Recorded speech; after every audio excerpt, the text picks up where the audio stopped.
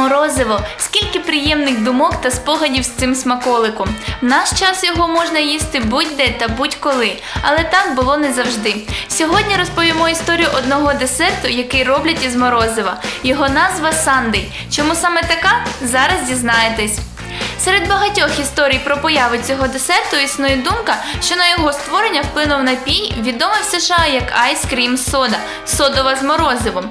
Іншою причиною була необхідність знайти заміну морозиву, яке вживали зазвичай у недільні дні. Бо в той час були так звані сині закони, які забороняли смакувати його в неділю. Тому придумали десерт Сандей від англійського неділя, де морозиво з додаванням інших інгредієнтів вже не було основним продуктом, тому цей смаколик не вважався морозивом, відповідно не потрапляв під заборону. І саме 3 квітня 1892 року цей десерт був вперше зареєстрований і з тих пір став дуже популярним не тільки в США. Сьогодні сандей це десерт, який готується із кульок морозива, прикрашених фруктовим сиропом або желе, подрібненими горіхами, шоколадом, збитими вершками і ягодами. І ним можна смакувати в будь-який час та насолоджуватися життям.